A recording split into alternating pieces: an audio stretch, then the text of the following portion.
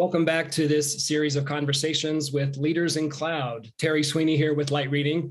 Joining me now is Andres Vasquez, Global Telco Segment Director with Schneider Electric. Andres, thanks so much for joining us today. Thanks for, for having me here, Terry. Thanks uh, so much for this invitation. Uh, telco cloud platforms have emerged as an essential element for both carriers and service providers. Let's start by talking about the features that are critical to differentiate among the telco cloud options that are already available. Sure, Terry, that's a great question. First, I like to highlight that the telco industry was evolving for the past few years from hardware dependency to software with NFV or network function virtualization, and now the cloud network function that was recently announced. So this evolution is not only about the traditional telcos only anymore. Today, we're living a convergence and, a market evolution to support these cloudifications and edge computing needs. And all this at the end runs in a data center.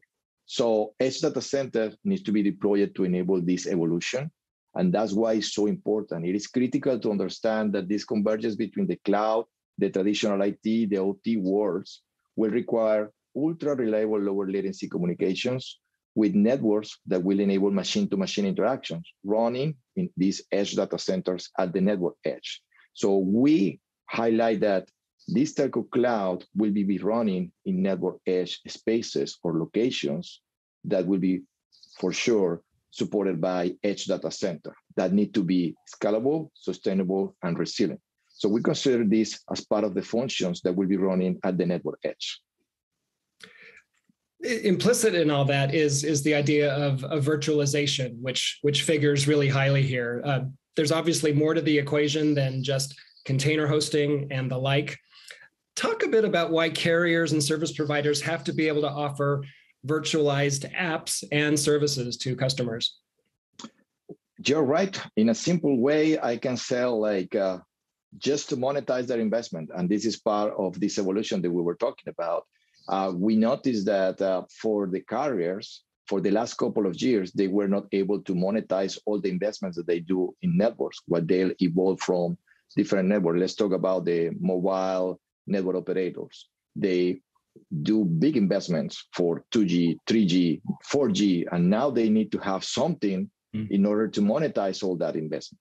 Just talking about that type of carriers. And the same happened in every single level. So the market demands now uh, this uh, evolution to process the data close where it is generated to enable Industry 4.0, real IoT, and the autonomous world.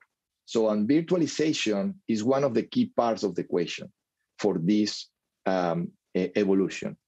Part is that uh, for the last couple of years, you know, at the telco world, you have central office for engineering designs to enable NFV. Now, this now this new uh, architecture of cloud network functions and open RAN, and all of them becoming to support cloud service application. This new era of networks is not only that networks, is where the service providers, where the communication service providers already notice how they can monetize this with the distributed cloud computing and the open standards topologies, they will help basically to cover two things. First, upgrade their current networks in a more sustainable way, enabling future updates for 6G. Everybody is also now starting talking about 6G. We don't have even starting with 5G, and, and we are already talking about it or, or hearing people very focused on that. And supporting new business model for them with partnerships and alliances like Amazon, Google, Microsoft, working with the communication service provider to enable uh, these services and enable also services like um, infrastructure as a service, edge as a service mm-hmm. in virtual and containerized environments that will run at the network edge on those edge data centers that we were talking about. Management is always a challenge. Uh, getting these these systems and processes to to line up uh, in a way that that, that that's functional. How easy is it for the new cloud management tools and systems to map to carriers and service providers existing management systems? What's what how heavy a lift is that really? That's a very very good, very good point. So high availability to support this ultra reliable communication is a very important topic uh, for, for all of these players. Because we're not talking about the traditional infrastructure, as we say, we're talking about this new topology that is mostly supported by edge data centers that are not in a central space or centralized space with people that is going around them. So monitoring is mandatory. Doing um, doing and enabling a, a best the best of the physical infrastructure to support that is uh, is another key aspect of this. We really do not want to have a self-driving machine having a traffic accident, right? So this is something that we need to cover. A critical power and resilience must be monitored.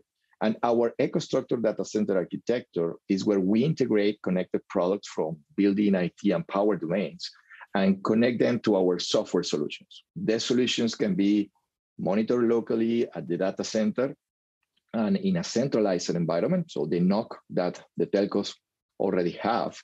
And the data can be sent to our cloud platform, Schneider Electric Cloud Platform, where we can run all the analytics to support these environments.